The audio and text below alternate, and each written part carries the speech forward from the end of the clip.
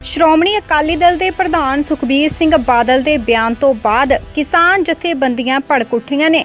ਦਰਅਸਲ ਪੰਜਾਬ ਦੀਆਂ ਕਿਸਾਨ ਜਥੇਬੰਦੀਆਂ ਵੱਲੋਂ ਮੀਟਿੰਗ ਕੀਤੀ ਗਈ, ਜਿਸ 'ਚ ਉਹਨਾਂ ਮੋਗਾ ਲਾਠੀ ਚਾਰਜ ਦੀ ਨਿੰਦਾ ਕੀਤੀ ਹੈ ਤੇ ਨਾਲ ਹੀ ਉਹਨਾਂ ਕਿਹਾ, ਸੁਖਬੀਰ ਬਾਦਲ ਦੀਆਂ ਧਮਕੀਆਂ ਤੋਂ ਉਹ ਡਰਨ ਵਾਲੇ ਨਹੀਂ ਤੇ ਸੁਖਬੀਰ ਬਾਦਲ ਆਪਣੀ ਭਾਸ਼ਾ ਦੀ ਮਰਿਆਦਾ ਨਾ ਭੁੱਲੇ।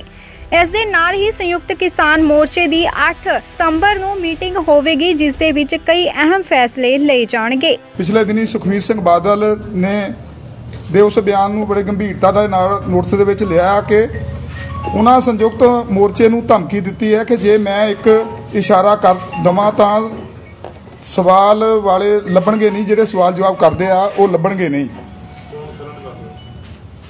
32 ਕਿਸਾਨ ਜਥੇਬੰਦੀਆਂ ਨੇ ਸਰਕਾਰ ਬਾਦਲ ਦੇ ਇਸ ਬਿਆਨ ਦੀ ਸਖਤ ਸ਼ਬਦਾਂ ਦੇ ਵਿੱਚ ਜਿਹੜੀ ਹੈ ਨਿੰਦਿਆ ਕੀਤੀ ਆ ਕਿ ਕਿਹਾ ਕਿ ਸੰਯੁਕਤ ਕਿਸਾਨ ਮੋਰਚਾ ਉਹਨਾਂ ਦੀਆਂ ਗਿੱਦੜ ਧਮਕੀਆਂ ਤੋਂ ਨਹੀਂ ਡਰਦਾ। ਸਾਨੂੰ ਪੰਜਾਬ ਦੇ ਮਾਹੌਲ ਨੂੰ ਖਰਾਬ ਹੋਣ ਤੋਂ ਬਚਾਉਣ ਦੀ ਚਿੰਤਾ ਆ, ਕਿਉਂਕਿ ਅਸੀਂ ਪੰਜਾਬ ਦਾ ਮਾਹੌਲ ਜਿਹੜਾ ਖਰਾਬ ਕਰਨਾ ਨਹੀਂ ਚਾਹੁੰਦੇ। ਬਾਦਲ ਆਪਣੀ ਜ਼ੁਬਾਨ ਤੇ ਭਾਸ਼ਾ ਉੱਪਰ ਲਗਾਮ ਲਾਉਣ, ਕਿਉਂਕਿ ਜੇ ਇਹੋ ਜਿਹੀ ਭਾਸ਼ਾ ਵਰਤਣਗੇ ਤਾਂ ਸੰਯੁਕਤ ਕਿਸਾਨ ਮੋਰਚੇ ਨੂੰ ਬਹੁਤ ਵੱਡੀ ਢਾਲ ਲੱਗੂਗੀ, ਇਸ ਅੰਦੋਲਨ ਨੂੰ ਬਹੁਤ ਵੱਡੀ ਢਾਲ ਲੱਗੂਗੀ। ਅਸੀਂ ਤਾਂ ਸਾਰੀਆਂ ਰਾਜਨੀਤਿਕ ਪਾਰਟੀਆਂ ਨੂੰ ਇਹ ਅਪੀਲ ਕਰਦੇ ਹਾਂ ਕਿ ਜਿਹੜੀਆਂ ਆਪਣੀਆਂ ਰੈਲੀਆਂ ਆ, ਉਹ ਬੰਦ ਕਰ ਦੇਣ। ਪਿੰਡਾਂ ਵਾਲੇ ਜਿੰਨੇ ਵੀ ਸਾਡੇ ਕਿਸਾਨ ਤੇ ਮਜ਼ਦੂਰ ਵੀਰ ਆ, ਉਹਨਾਂ ਨੂੰ ਵੀ ਅਪੀਲ ਕਰਦੇ ਹਾਂ ਕਿ ਇਹਨਾਂ ਸਿਆਸੀ ਲੋਕਾਂ ਦੀਆਂ ਰੈਲੀਆਂ ਦੇ ਵਿੱਚ ਜਾਣਾ ਤੁਸੀਂ ਬੰਦ ਕਰ ਦਿਓ।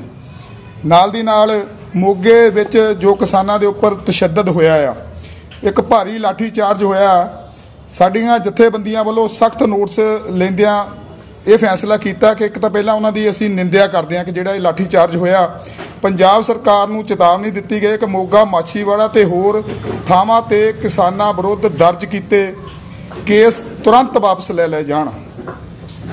5 ਸਤੰਬਰ ਨੂੰ ਮੁਜ਼ੱਫਰਨਗਰ ਦੀ ਜਿਹੜੀ ਆ ਮਹਾ ਰੈਲੀ ਹੋਣ ਜਾ ਰਹੀ ਹੈ, ਉਸ ਤੋਂ ਬਾਅਦ ਸਾਡੇ 32 ਕਿਸਾਨ ਜਥੇਬੰਦੀਆਂ ਦੀ ਸੰਯੁਕਤ ਕਿਸਾਨ ਮੋਰਚੇ ਦੀ ਜਿਹੜੀ ਆ ਮੀਟਿੰਗ 8 ਸਤੰਬਰ ਨੂੰ ਕੀਤੀ ਜਾਣੀ ਆ। ਉਹਨਾਂ ਵੱਲੋਂ ਸਖਤ ਕਦਮ ਚੁੱਕਣ ਦੇ ਜਿਹੜੇ ਅਸੀਂ ਐਲਾਨ ਕਰਾਂਗੇ ਉਸ ਮੀਟਿੰਗ ਦੇ ਵਿੱਚ, ਐਕਸ਼ਨ ਜਿਹੜਾ ਆ ਅਸੀਂ ਕਰਾਂਗੇ। ਜੇਕਰ ਸਰਕਾਰ ਨੇ ਇਹ ਜਿਹੜੇ ਪਰਚੇ ਦਰਜ ਕੀਤੇ ਆ, ਉਹ ਵਾਪਸ ਨਾ ਲਏ, ਉਸ ਮੀਟਿੰਗ ਦੇ ਵਿੱਚ ਅਸੀਂ ਜਿਹੜਾ ਐਕਸ਼ਨ ਦਾ ਐਲਾਨ ਕੀਤਾ ਜਾਵੇਗਾ।